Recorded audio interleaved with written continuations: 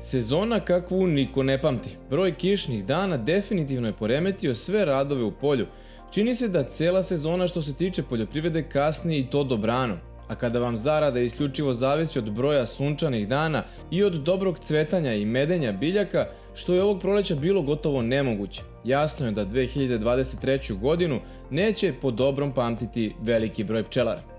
Naime, početak je jula, a naša ekipa je rešila da sa svojim starim prijateljem Vojkanom Milutinovićem, iskusnim pčelarom iz Pančeva, dočeka prvo julsko jutro ove godine.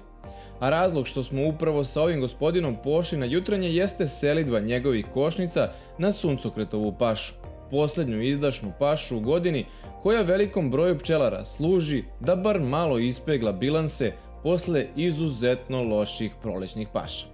Definitivno malo je lokacija gde možemo na stacionarnom pčelinjaku da imamo celu sezonu. Iz tog razloga ljudi koji žive i koji se bave pčelarstvom trude se da uhvate što više paša. Znači, samim tim ima neka stara poslovica, kaže med je na točkovima. Znači moramo da se selimo sa lokacije na lokaciju. Ko ima sreće, njemu je opseg manji, nama je nekih 270 km opseg za sve paše, ali kada pogledam kako to rade ljudi u inostranstvu i onim većim i ozbiljnijim nekim čelinjecima gde idu i do 500-600 km, opet nije, nije ni to strašno, znači opet je zadovoljavajuće. I kao što i slika govori, ova lokacija u Padini gde godinama Vojkan donosi svoje pčele pokazuje zapravo koliko godina kasni. U ovom moru suncokreta tek poneka glavica je u stvari počela i da se otvara, ali zbog najavljenih ponovnih padavina u narednom periodu, ovaj pčelar je rešio da ne rizikuje pogoršanje stanja atarskih puteva, te da mu je bolje da njegove pčele sačekaju pašu par dana, nego da uopšte možda i ne dođe na ovu lokaciju.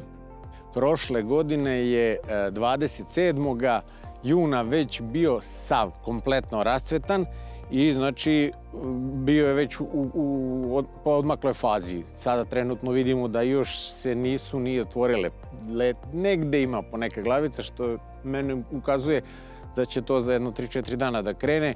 Sve zavisi opet od temperature. Znači ova godina kompletno neki desetak do 15 dana kasni u odnosu na, na, na prethodne sezone. Tako je i Bagrem. Ove godine smo se na Bagrem selili 18. maja što je za, za bagremovu pašu izuzetno kasno. Ona cveta od prvog do šestog, da kažem, u tom periodu maja, a 25. se već završavala. Mi smo ove godine 18. otišli i opet su bile velike muke tamo, zaglavljivanje kiše i sve to, ali eto, uspeli smo i to nešto da odradimo. Svi će pokušati da, da uberu taj med koji je sad, da kažemo, poslednji izdašan. Posle toga se samo očekuju neke tihe paše i neke jesenje, kasne jesenje paše što se tiče zlatošipka, aster, ali to je već na kraju sezone, to je med koji mi pčelari ne uzimamo, to uzimaju pčele. Svi će se potruditi da dođu, e sad ko je uspeo da nađe lokaciju, ko je uspeo da nađe saradnju i, i dobar odnos, verovatno će i nešto uraditi, a ako dođe do, do prenaseljenosti, mislim da su efekti nikakvi. Suncokretov med je da kažemo, manje popularan i atraktivan kod nas, e, ali njegov hemijski sastav, znači e, polenska vrednost je izuzetno izdašna i izuzetno je dobar. E sad, to je sve, što ja kažem, stvar navike i, i nekih stečenih običaja kod ljudi. A, trenutno je cena meda jako pala. Znači, i ne samo suncokreta, nego i meda i uljarne repice, znači, da, da kažem, 50% je pala vrednost meda, a sad masnovno se već prodaju košnice, ljudi su shvatili da taj hobi nije tako jeftin kao što su mislili, međutim, da biste ostvarili neki efekte morate da imate veće količine pčela. Bez pčela ne bi bilo ni života na zemlji i koliko god puta ponovili u našoj emisiji tu rečenicu, nije na odmet i još pokoja repeticija. Oprašivanjem pčele utiču na povećanje prinosa, omogućuju nesmetan razvitak biljaka, doprinose hranjenju celog čovečanstva, a zauzvrat traže samo malo pažnje, to jest odgovorno postupanje vlasnika parcela. Zato naš sagovornik ističe koliko je važan dobar partnerski odnos između ratara i pčelara. Već godinama dolazim ovde u Padinu, imao sam sreće da najđem na čoveka koji se ozbiljno bavi poljoprivredom i koji je shvatio da su pčele jako bitne u njegovom poslu, znači e, da daju veliki udeo u tom poslu kojim se on bavi i s njim lepo sarađujem. E, već godinama on meni kaže lokaciju, kaže mi kada da dođem, čime je tretirao, da li da sačekamo nedelju dana, dve, da prođu te karence, jer ranije godina se dešavalo da vi u Jurnjavi za tim pašama dođete tamo gde je karenca aktivna i ima velikih pomora. Ja od kada sam sa Ondrejom počeo da sarađujem, nikada nisam imao nikakvih problema i neizmjerno sam zahvalan ja njemu na, na, na takvu izdešnoj podršci u mome poslu i ja se trudim da njegov, njegov deo ispunim što je on očekivao što se tiče pčela. Gospodin Milutinović je ove sezone uspeo da izbegne najtežu sudbinu, koju je veliki broj njegovih kolega iskusio. Naime, malo je pčelara koji su uspeli da uberu nešto bagremove paše, a na sreću ovaj pčelar je ipak izvrcao i bagrem ove sezone. Zato je ovih dana gotovo na svim parcelama širom Vojvodine poprilična gužva. Kontejneri i košnice počele su da plave parcele pod suncokretom jer pčelari pokušavaju da spasu sezonu. Nažalost, e, zbog velike količine pčela morate da idete dalje, dublje i evo mi smo se udaljili, boga mi, ja mislim neki 5-6 km od asfalta. E, nažalost, dešava se da, da usled nepoznavanja terena i ne, ne, ne kontaktiranja sa, sa ratarima i lokalnim udruženjima dođe do prenaseljenosti i onda smo se džabe mučili, džabe radili, džabe selili ako previše bude pčela na jednoj lokaciji, nema, nema efekta za, za pčelare. A sa sezonskih tema prelazimo na priču upravo o samom procesu selitbe. Ovaj pčelar proces selitbe započinje malo pre svitanja. Po tome je možda još uvek u manjini, ali on je shvatio da mu je jutarnja selitba mnogo isplativija. Ja sam se prvi put posveđao s mojim ocem koji je takođe bio pčelar oko selitbe pčela. Ranije se to selilo uveče i svi su, i svi su e, kretali sa prvim mrakom. Znači, čim pčele prekinu izlet, oni ih zatvaraju i kreće se u selidbu. Međutim, ja sam razmišljao i došao do neke konstatacije da mi je mnogo lakše usled jednog problema koji sam imao. Noću dođete, ne vidite rupu, ne, nemate dobru preglednost terena i imali smo jedno, jednom prilikom veliki problem, hteli smo da prevrnemo kamion, upali smo u rupu ne, koju nismo videli i onda sam ja rešio da sve to može da se odradi rano ujutru. Znači, ta navika e, mislim da je ostala iz perioda kada se zaprežnim kolima selile pčele, pa je recimo uveče se krene iz Pančeva da bi se stiglo do Devojačkog bunara, treba cela noć tamo ujutru da stignete da ih otvorite.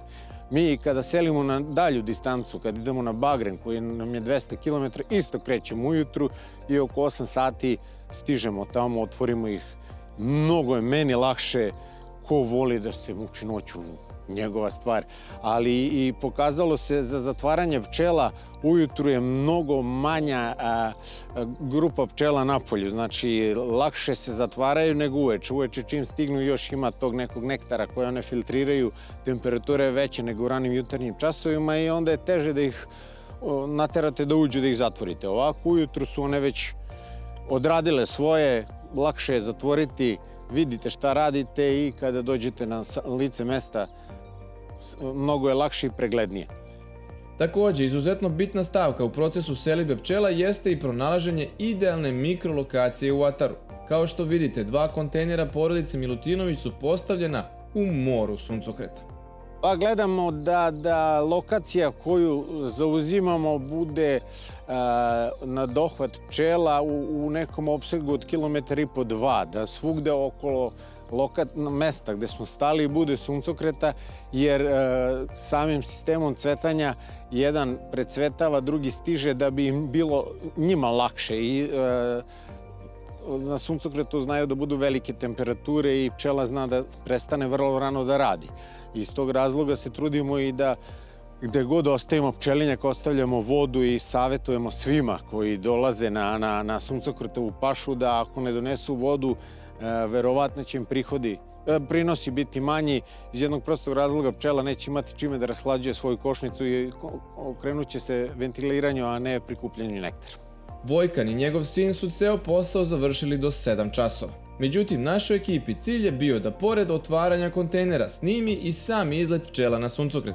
Ali sve što smo uspeli da učinimo je da snimimo par kadrova crnog oblaka koji se gotovo u sekundi nadvio nad suncokretom neposredno ispred kontejnera. Pčele su bile nervozne, ljute, te stoga i sa punom zaštitom bilo gotovo nemoguće zabeležiti kadrove njihovog prvog izleta na suncokret. Vi kad naviknete da idete negde ujutru svako jutro bez problema i nekom zatvori vrata, to je već problem. I onda čekate da taj samo malo oškrini iskoristite priliku da izađete. Tako da je to sasvim normalna stvar. E, mi se trudimo da kada ih selimo otvaramo ventilacione otvore, da, da one imaju vazduha, daleko bilo da dođe do nekog defekta, kvara, da, da, da one mogu da ostanu i po ceo dan zatvorene, ali kako se kad, kada se otvara uvek bude taj nalet, taj prvi trenutak kad se otvori, one do, pokušavaju da dođu do vazduha i evo, baš sam malo čas posmatrao, odmah su izašle na leto i počele da ventiliraju, da ubace svež vazduh unutra. I za kraj nas je zanimalo koliko prosečno potraje suncokretova paša. Suncokret sad aktivno traje neki 12 do 15 dana kada, kada procveta. U zavisnosti od pozicije, ako ima u okrugu nekih njiva koje su kasnije sejane, produžit će se taj period paše. Ja se sećam kada sam bio klinac da smo išli na suncokretove paše koje su trajale i po 25 dana. Ali sada je već sasvim druga vrsta suncokreta, ne seju se ti, ti, ta semena koja su se ranije koristila i mnogo je kraći. I tako da mi se trudimo da čim završimo, čim suncokret bude pri kraju, se vraćamo u zimovnike, da bi to što je ostalo malo, što bi rekli pčelari, da se pabirči, ostavili lokalnim pčelarima da njihove pčele mogu da se spremaju za zimu. Kad se pčele vrate sa suncokretove paše, sledi pregled košnica da se nije dogodila neka nepoželjna situacija. Posle toga se sprema za vrcanje, ali najbitnije je da svaki pčelar ostavi pčelama dovoljno hrane u košnici kako bi one imale za normalno funkcionisanje. A mi se nadamo da će posle suncokretove paše Milutinovićima košnice biti dupke pune.